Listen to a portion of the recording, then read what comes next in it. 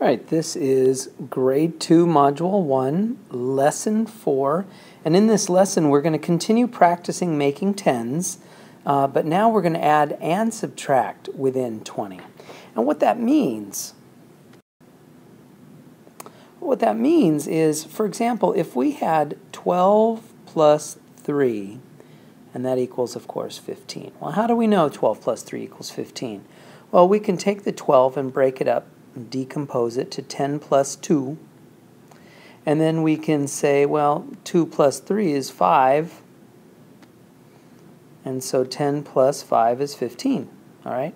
Well, similarly, if there's a, an addition problem, that means there's a related subtraction problem. And in this case, the related subtraction problem would be 15 minus 3 equals 12. How do we know?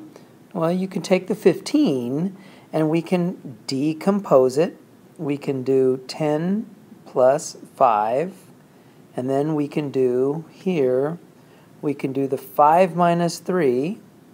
5 minus 3 is 2. So now 10 plus 2 is 12. All right. So we have, um, that's basically what we're going to be doing is we're going to be using these, essentially these number bonds. And when I say number bond, right here, this is a number bond where you take 12 and you decompose it to 10 and 2. Or you take 15 and you decompose it to 10 and 5. That's a number bond.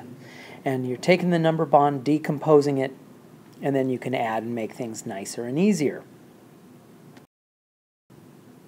So let's put this to practice.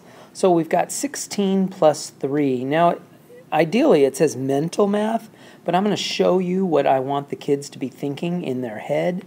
In this case, with 16 plus 3, we're going to take the 16 and decompose it to 10 and 6. And then 6 plus 3 is 9, so this becomes 10 plus 9 is 19. So there's our 19.